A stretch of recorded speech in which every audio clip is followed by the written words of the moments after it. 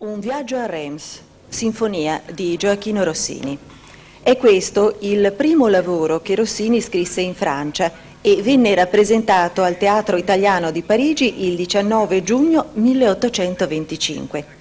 La sinfonia inizia con un andantino che, dopo accordi vigorosi dell'orchestra, dà libero sfogo a una bella e malinconica melodia affidata all'oboe e al flauto.